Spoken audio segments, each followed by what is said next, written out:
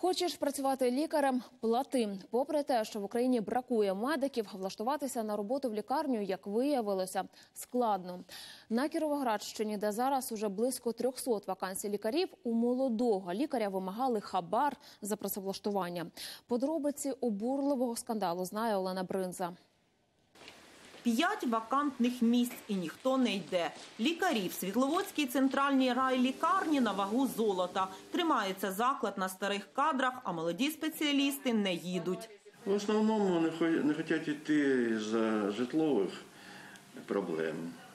Е, Адже якщо це ну, місцеві, вони звичайно повертаються і працюють. А якщо немає житла, то людина буває, що і приїздить е, працювати, але потім е, десь е, є запрошення з житлом. Та житло не єдина проблема. За працевлаштування з'ясували правоохоронці з медиків брали гроші. Начальник відділу кадрів обласного департаменту охорони здоров'я вимагав 500 доларів і попався на гарячому. Йому вже оголошено підозру за частиною 3 статті 368 Кримінального кодексу України. Зараз ми готуємо до суду клопотання щодо обрання йому запобіжного заходу. Е, Також хочу відзначити, що в межах досудового розслідування нами буде перевірена інша наявна у нас інформація протиправної діяльності цього посадовця. У медзакладі запевняють, про такі оборудки нічого не знали. Мовляв, самі готові доплачувати лікарям, аби ті тільки їхали до них працювати.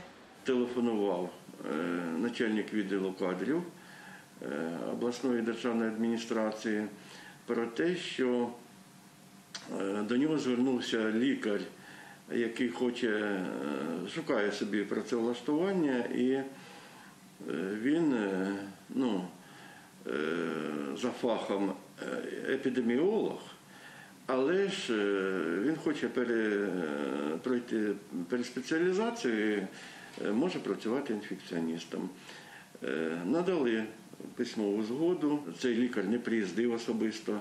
У мене не було розмови ні телефонної розмови з ним, ні особисто він не приїздив. Він звернувся до обласного управління охорони здоров'я.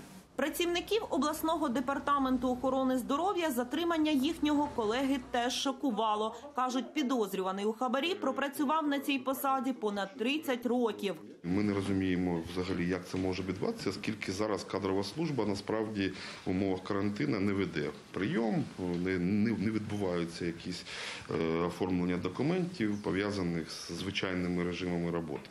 Тому якісь особ- особисті домовленості, які привели от до таких наслідків, що е, правоохоронці е, вчиняли слідчі дії. Тому для всього департаменту це така несприйнятна подія, і зрозуміло, що ми в досить шоковому стані. Якщо факти вимагання хабарів керівником відділу кадрів підтвердяться, його звільнять, запевнили нас у департаменті. А поки що по всій Кіровоградщині вакантними залишаються близько 300 вакансій лікарів різного профілю. Олена Бринза, Володимир Кувакін, подробиці Інтер, Кіровоградська область.